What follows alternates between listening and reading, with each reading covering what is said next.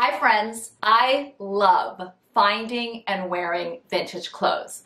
I'm always looking for unique pieces with a story that I can incorporate into my wardrobe. I've built up a good stable of sources for my vintage pieces, but I'm always looking to find more. In this video, I'm going to show and tell you about how the interconnectivity of the vintage community led me to shop a curated collection of vintage pieces from abroad. Welcome to the Dress Up Mom.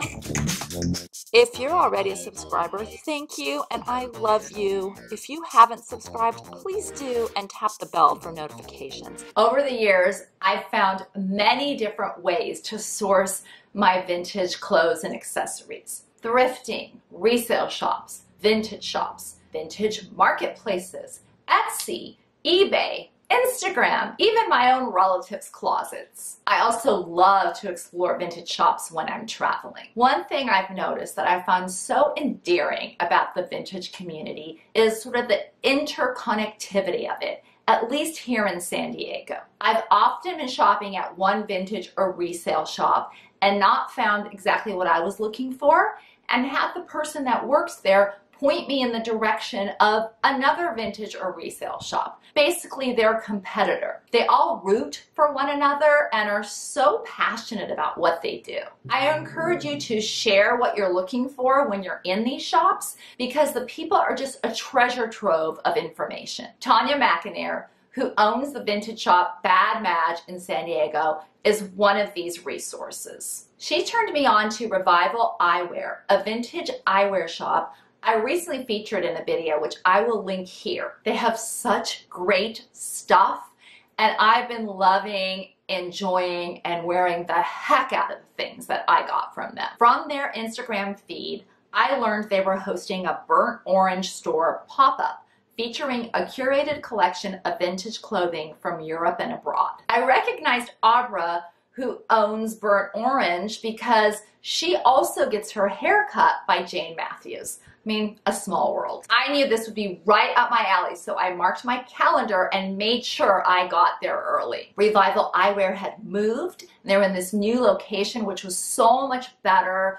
so much more room and also had a lot more street traffic. I was super happy for them. This whole experience was just quite a treat. Over the summer, Abra spent two and a half months traveling through Europe and along the way collected hundreds of pieces of vintage clothing accessories from cities such as Berlin, Paris, and many small country villages throughout France. This is Abra, another Jane contact, and she traveled Europe to come up with this amazing, partially, this is only partially the collection, right?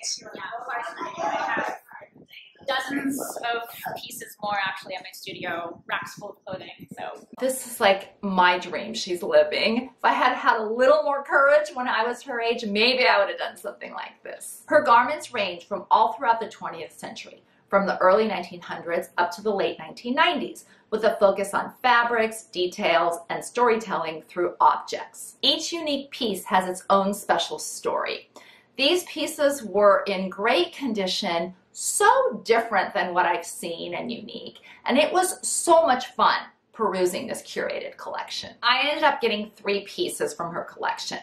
The pants fit perfectly, which is rare for me.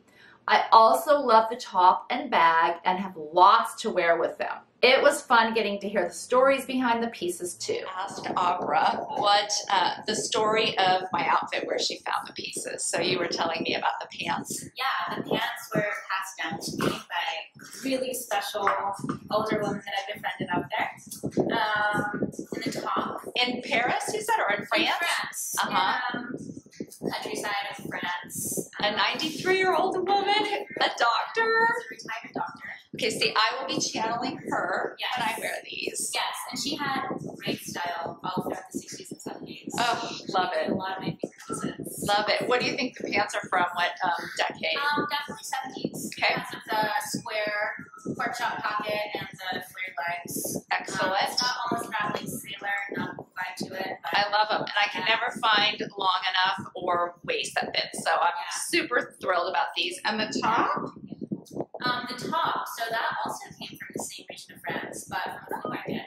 And From a flea market. Yeah, that's 1960s. I and love it. The colors are incredible. It popped out to me right away, and I knew I had to take it with me. And how about my little this little bag here? This little fanny bag, bag. Also. French. Um, Okay, there's a theme. Yeah, it came from the same source as the top.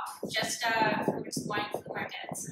Okay, so when I go to Europe, I to make sure I go vintage shopping in France. It sounds like. Yes, Okay. highly recommended. All right, thank you.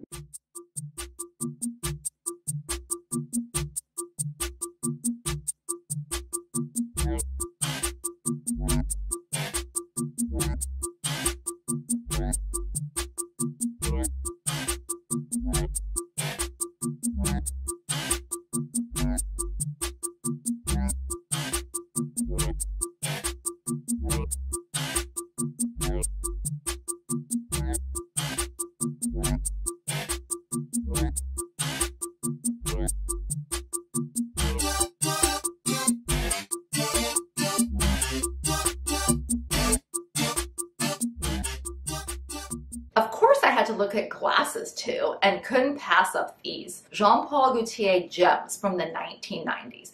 I don't have anything else like them. I had so much fun doing this, and I'm definitely going to keep up with Abra.